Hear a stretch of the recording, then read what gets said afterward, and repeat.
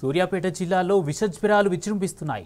హుజూర్ నగర్ నియోజకవర్గంలోని నేరేడు చెర్ల గరిడపల్లి పాలకీడు చింతలపాలెం మఠంపల్లి మండలాల్లో చిన్న పెద్ద తేడా లేకుండా ప్రతి ఒక్కరూ విషజ్వరాలతో బాధపడుతున్నారు. డెంగీ వ్యాధి బారిన పడి అనేక మంది ప్రభుత్వ ప్రైవేటు ఆసుపత్రుల్లో చికిత్స పొందుతున్నారు. రోగులతో ఆసుపత్రులు కిటకిటలాడుతున్నాయి. వ్యాధులు ప్రబలకుండా ముందస్తు చర్యలు చేపట్టడంలో వైద్య ఆరోగ్య శాఖ అధికారులు విఫలమయ్యారన్న విమర్శలు వినిపిస్తున్నాయి.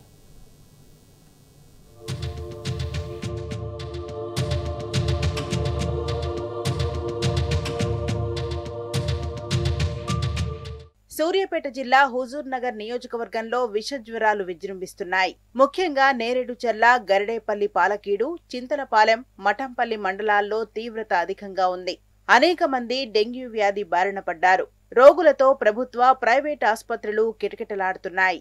వ్యాధులు ప్రబలకుండా ముందస్తు చర్యలు చేపట్టడంలో వైద్య ఆరోగ్య శాఖ అధికారులు విఫలమయ్యారు. డెంగూ వ్యాధి నిర్ధారణకు వైద్యశాలల్లో కిట్లు అందుబాటులో ఉన్నా పరీక్షలు మాత్రం చేయటం లేదనే ఆరోపణలు ఉన్నాయి. దీంతో ప్రజలు ప్రైవేట్ ఆసుపత్రులను ఆశ్రయించాల్సి వస్తోంది. మాది బూరుగడ్డ మాచారం గ్రామ పంచాయతీ.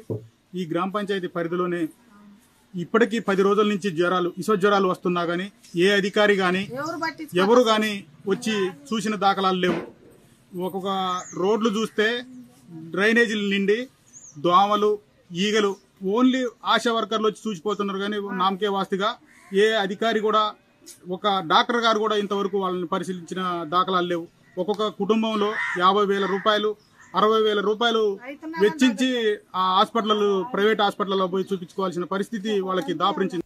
పల్లెలు పట్టణాలు విష జ్వరాలతో వణుకుతున్నాయి. గ్రామాల్లో రెండు మూడు రోజులకు గాని వైద్య సిబ్బంది చికిత్సలు అందించేందుకు వెళ్ళడం లేదు. దీంతో ప్రజలు ఇబ్బందులు పట్టంతో పాటు చేసేది లేక పట్టణాలకు వెళ్ళి ప్రైవేట్ ఆసుపత్రులలో డబ్బులు వెచ్చించి ప్రజలు వైద్య చికిత్సలు చేయించుకుంటున్నారు.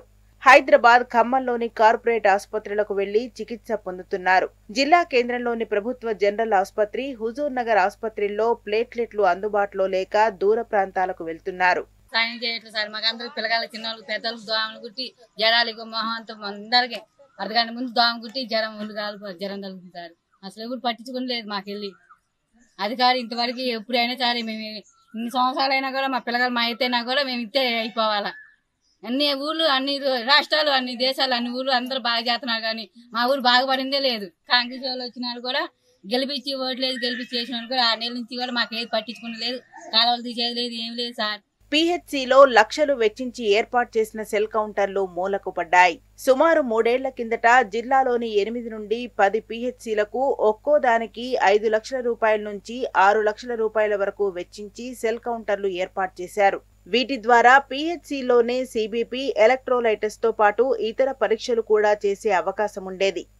ఈ సెల్ కౌంటర్లు కొన్నాళ్ళు బాగానే పనిచేశాయి. తర్వాత వాటిని సర్వీసింగ్ చేయించాల్సి ఉండడంతో వైద్య ఆరోగ్య శాఖ అధికారులు పట్టించుకోలేదు. దీంతో అవి ప్రస్తుతం పనిచేయటం లేదు. రోగులు ప్రైవేట్ ల్యాబ్స్లో ఐదు వందల రూపాయల నుంచి వెయ్యి రూపాయలు వెచ్చించి పరీక్షలు చేయించుకుంటున్నారు. పెద్ద బాబు ముందర బుజ్జికి వచ్చింది బాబు. వారం అయింది ఇప్పుడు నా పదేళ్ళు దానికైనా. తర్వాత మళ్ళీ వాళ్ళ నాన్నకు వచ్చింది ఒక ఇరవై వేలు అయినాయి బాబుకి ఒక ఇరవై వేలు దానికైనాయి ఈగలు దామలు నీళ్ళు నల్ల నీళ్ళు కూడా సరిగా రావట్లేవు. ముగ్గురు నలుగురు మురుగుతురు ఇంట్లో. అసలు లేకుండా పంతురు నలభై వేలు అయినా తగ్గట్లేదు. విష జ్వరాలు ప్రబలడంతో ప్రైవేట్ ఆసుపత్రుల నిర్వాహకులు ఆడిందే ఆట సాగుతోంది. యజమానులు వైద్యులు అడిగినంత చెల్లించుకోవలసి వస్తోంది. హుజూర్ నగర్ వంటి మున్సిపాలిటీలో విష జ్వరాలు పెరిగిపోతున్నాయి. స్థానికంగా ఏ ప్రైవేట్ ఆసుపత్రి చూసినా విష జ్వరాల రోగులతో కిక్కిర్సిపోతున్నాయి.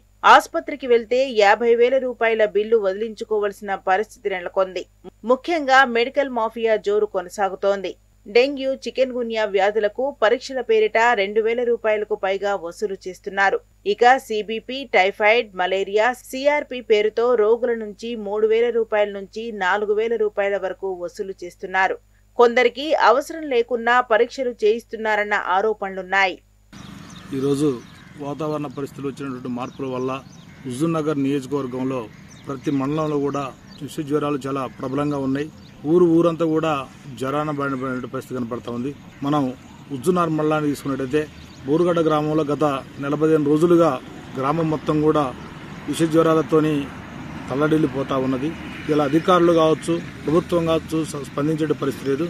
స్వయంగా రాష్ట్ర నీటిపారుదల శాఖ మంత్రులు ఉత్తమ్ కుమార్ సొంత కాన్స్టిట్యున్సీ యొక్క హుజూర్నగర్లోనే పరిస్థితి ఈ రకంగా ఉంటే మిగతా రాష్ట్రం మొత్తం కూడా ఎటువంటి పరిస్థితి మనం చూడవచ్చు. గ్రామీణ ప్రాంతాల్లో వర్షాలకు తోడు పారిశుద్ధ్యం పాటించకపోవడంతో విషజ్వరాలు విస్తరిస్తున్నాయి. వీధులు మురికి కూపాలను తలపిస్తున్నాయి. విషజ్వరాలు విస్తరించకుండా అవగాహన కల్పించాల్సిన వైద్య ఆరోగ్య శాఖ అధికారులు నామమాత్రంగా పర్యటన చేస్తున్నారన్న విమర్శలు వెల్లువెత్తుతున్నాయి.